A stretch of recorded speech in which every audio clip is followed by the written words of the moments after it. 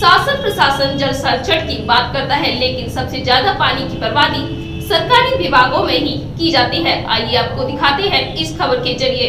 जल बचाओ, कल बचाओ, इस तरीके के तमाम नारे और स्लोगन बनाकर जनता को जल बचत के लिए जागरूक करने का जिम्मा प्रशासन को सौंपा गया है। प्रशासन तमाम तरीके से जल को बचाने के लिए जनता को जागरूक करने का काम भी करता है।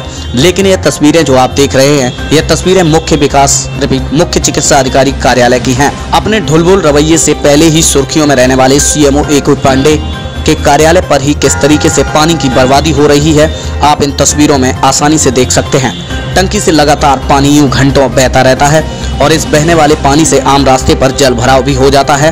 ऐसा नहीं कि यहाँ किसी की नज़र नहीं पड़ती, लेकिन लापरवाही और अनदेखी रवैया के चलते सीएमओ कार्यालय पर प्रशासन के आदेशों की जमकर धज्जियाँ उड़ती दिखाई दे रही हैं।